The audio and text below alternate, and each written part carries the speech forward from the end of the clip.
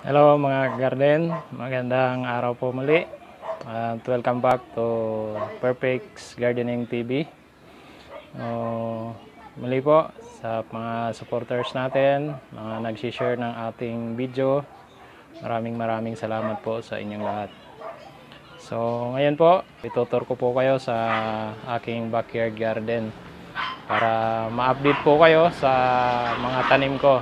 Yung mga pinakita ko previously, yung mga nilipat kong mga punla ng okra, yung minarkot kong gumamila, yung mga grapes ko, at saka yung aking mga pomegranate.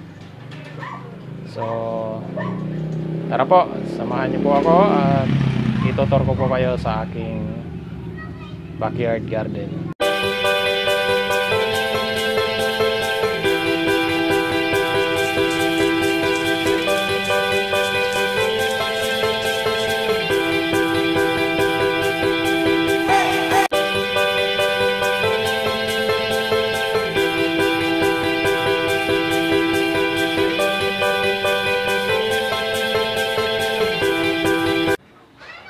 Okay mga kagarden, ito na po yung munting backyard ko.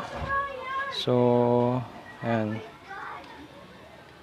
Uh, mun- naggubat na siya. Ang medyo malulusog yung mga okra ko. Okay, so yun. Yun yung sa pomegranate. Na picture ko nung last na video. Ayan. Ayan yung mga grapes ko.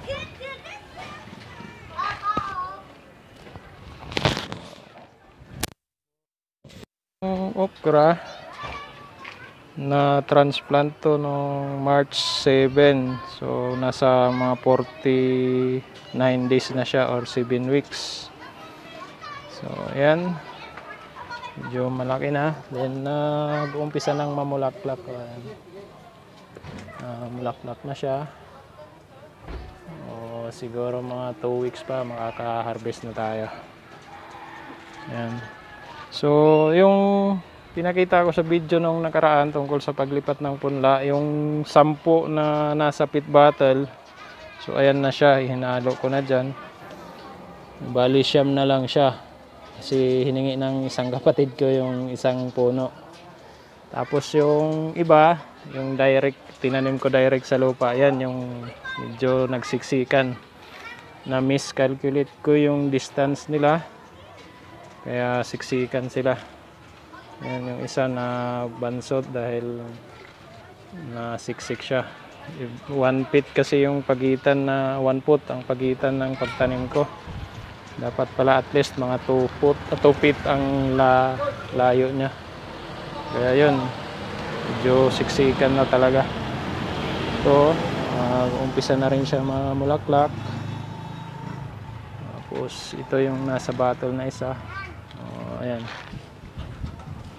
Medyo malalaki siya. Malusog. Tapos, update dun sa grapes. So,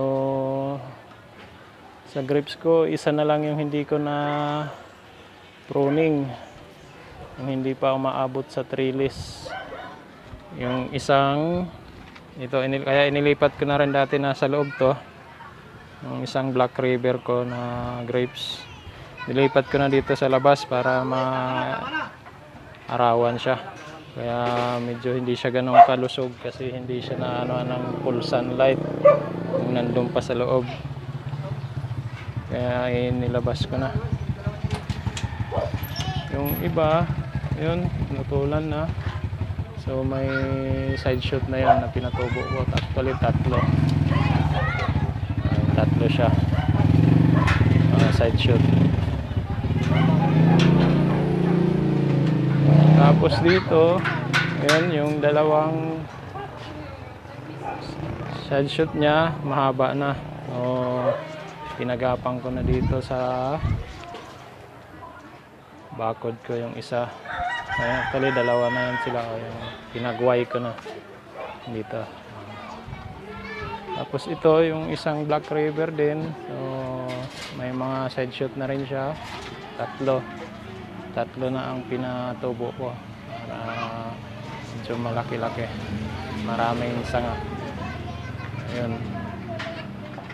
Then ito yung gumamila ko na pinagmarkutan nung nakaraan. So, yun, namumulaklak na naman siya. Then, nandito yung, ito yung, ano, yung pinatubo ko na pomegranate. Dalawang napatubo ko. Uh, medyo malaki na rin. Ito yung isa, natatakpan na ng mga okra. Yan. Pomegranate. So, bali, tatlong puno na ng pomegranate yan. Then, ito yung minarkot ko na na gumamila.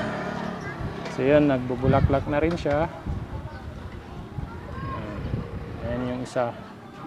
Ang natatandaan niya yung dalawang minarkot ko. So, ayan na yan. Then, ito na yung update ng pomegranate ko. Ah, awa ng Diyos, medyo daming bulaklak at ang dami na rin niyang bunga. Hitik sa bunga. Ano? Daming bulaklak. Tapos yun, yung mga bunga. Ang dami. Ayan.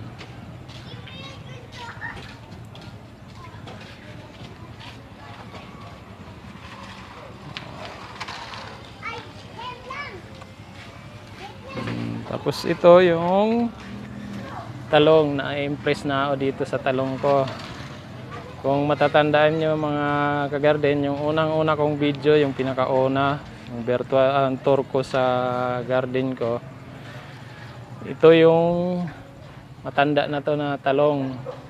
Kumbaga niraton ko lang siya. Pinagpuputol ko yung mga dating sanga. Tapos yun, tumubo ng bagong sanga parang bago siyang ano bagong tanim sa ngayon dami na siyang bulaklak at may mga bunga na rin ayan isang bunga ayun meron pang isa tapos meron pa dito Ah, ayan mayroon mga mga bunga pa siya tuloy-tuloy lang yung pamumunga niya na bulaklak. So, actually nakapag-harvest na ako dito ng apat na talong. apat na bunga niya. So, yun. Yung una nating na pruning na katawba, ayan na siya. So, gumapang. Medyo na mismanage nung wala ako dito. Naputulan pinutulan nila yung dalawang sanga na pinatubo ko kaya nahinto tuloy yung paghaba niya yun may mga isang side shot na lang ulit na pina-maintain ko para yun na yung haba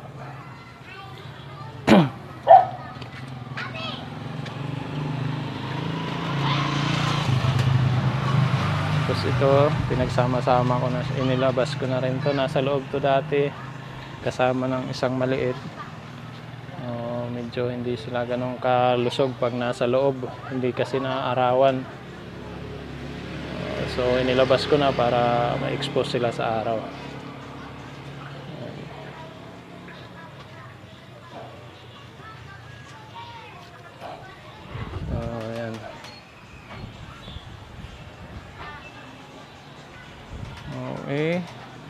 Guys, so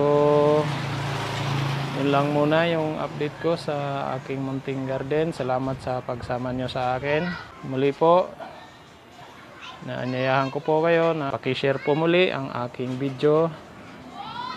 Para marami tayong mga kababayan ang ma-encourage na magtanim-tanim na rin sa kanilang mga halaman. Lalong-lalo na po ngayon na nasa pandemic tayo. Kahit nasa bahay tayo, medyo hindi pa tayo pwedeng maggala-gala.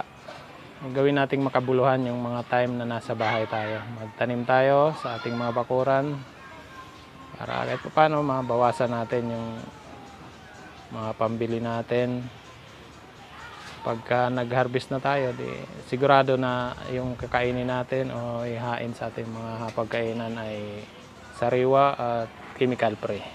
Yun po mga kagarden, maraming salamat po sa pagsama sa akin. At muli po, magandang araw at mabuhay po tayo. Stay safe mga kagarden. Maraming salamat.